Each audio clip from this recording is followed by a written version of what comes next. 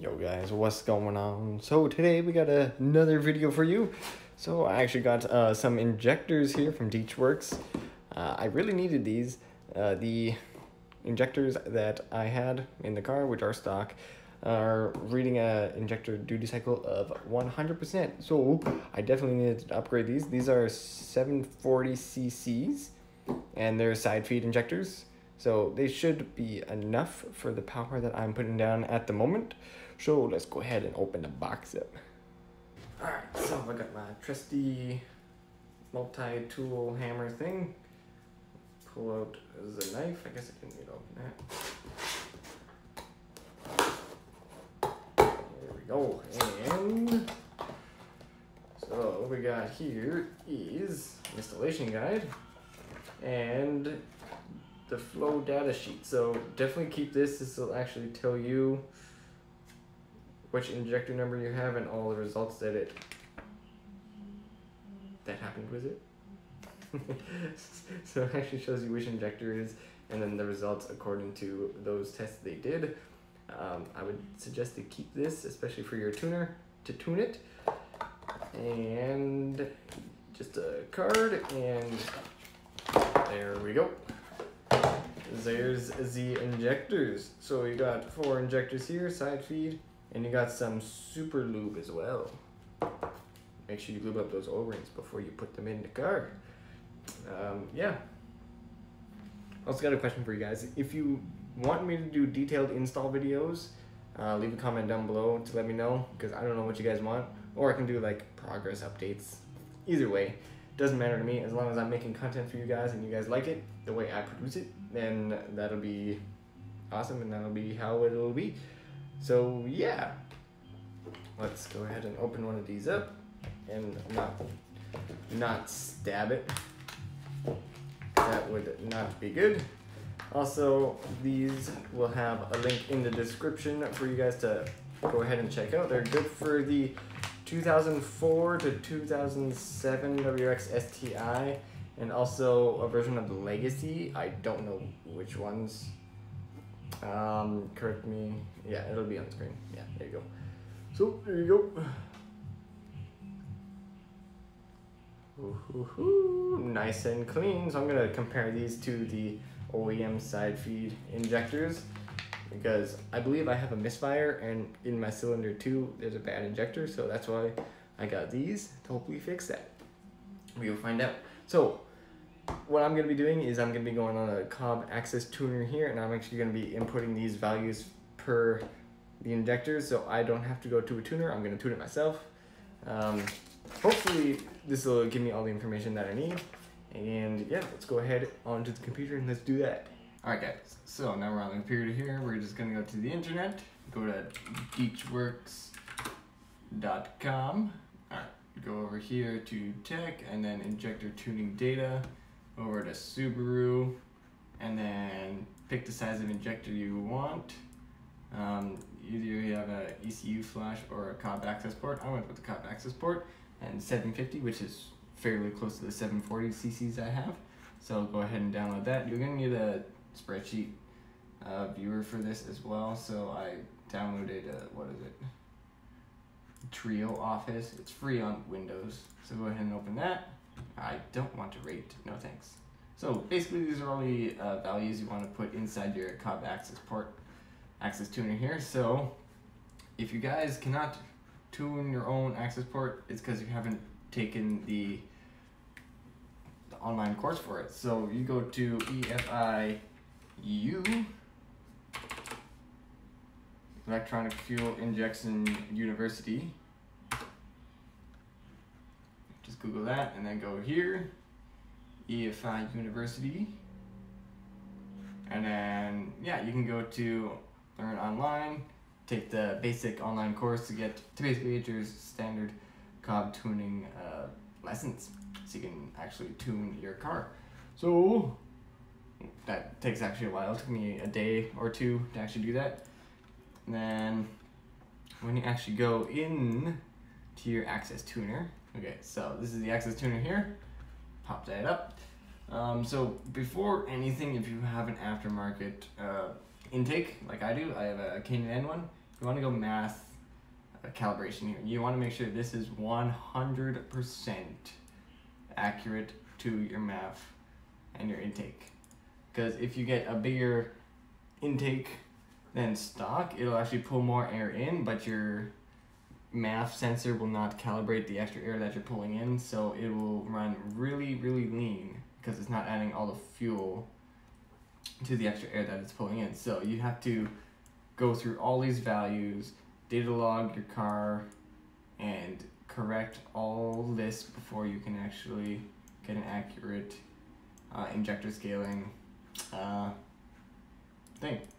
So go ahead and do that. That'll take you a while.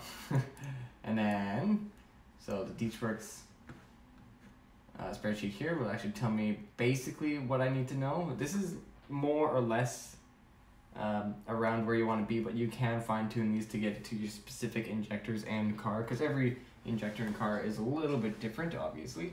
So basically all you want to do is just go down the list as you see it. So I got the fuel injector latency for the 2.5 liter and uh, yeah, uh, okay that's yeah. So all 2.5s says speed density, but that's fine. It should be the same. So you want to go over to that map right here, which is fuel injector latency, what you want to do is copy these values here. Control C and then paste those values into the top there. You can see they changed along with the graph.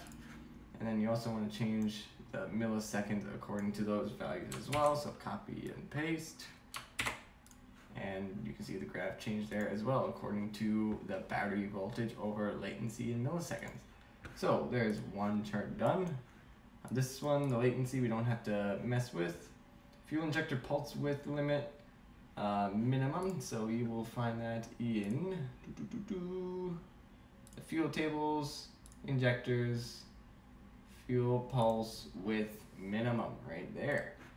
So in the milliseconds, you just want to copy that value there, throw that there. Perfect.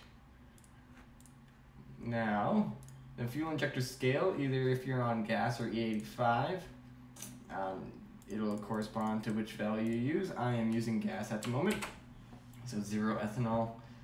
And we will copy this value here and go into the injector scaler, paste that there. When I actually calculated this, I will quickly show you, whoop, hold on, we'll undo that, we'll calculate this so you guys can actually see. So the stock STI injectors are 545 cc's and we'll do over our 740 cc's that we currently have, which gives us a percentage of 0 0.734, blah, blah, blah, blah, whatever.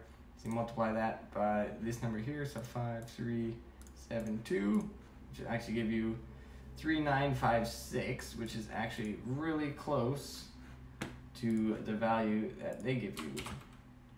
So that's, that's, that's the one thing I know how to calculate, more or less.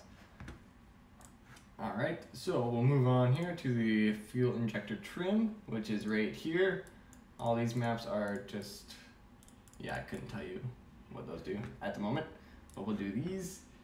I'll go to IPW, Copy those values there, let's throw them on top, perfect. And then copy the values on the bottom, and boom. So these numbers and the colors will actually determine if you are decreasing the value that it actually came with from stock or your Cobb uh, stage 2 map that you download from Cobb. Um, yeah, so the yellow will actually be decreased values from that stock map and then the red will be increasing that. And then green will obviously be uh, the same as the stock map. Just a little uh, tip, or just how to read these more or less. So in the fuel injector trim, small IPW, which would be right here, right, yeah, right here, just the one value, throw that there. And then the fuel injector trim small IPW max RPM is 10,000 RPM, which stock is 4,000. 10, no, we'll go 10,000. Perfect. So that's more or less how you throw all these values in. That'll get you started. This would be like more of a safe tune. And then once you actually go inside the car, you want to data log all your fuel values, your air fuel ratio, air fuel learning, and correction, just to make sure you're actually still running a stoichi- stoichiometric values of your car and where your target AFRs are supposed to be. So uh, we will save this to the export. We'll go version 3. And we'll save it to my personal tune.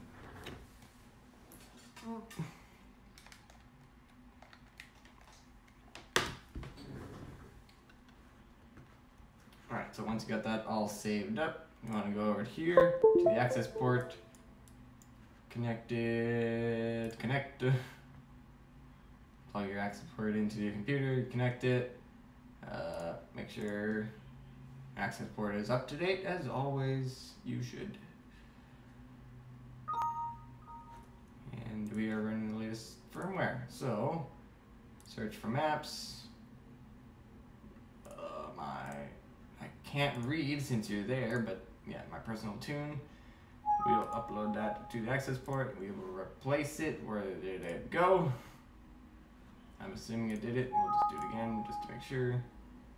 Whoop. Okay, cool. Yeah, you see that bar. Cool, awesome. Now, always inject, eject your access port before you unplug it, so you don't actually take it out while it's still transferring data. Now, we can actually go to the car and install these injectors. Let's go do that.